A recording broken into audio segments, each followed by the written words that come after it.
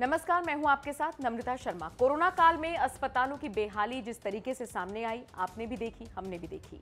इसके बाद सरकार ने अपने अपने स्तर पर भले ही कितने भी कदम क्यों ना उठाए हों, लेकिन कदम कदम पर सरकार की लापरवाही भी सामने आई है, इसमें भी कहना गलत नहीं होगा। बिहार से ऐसे कई मामले सामने आए हैं जिसने नीतीश सरकार को एक नहीं, दो नहीं, बल्कि कई बार शर्मसार किया।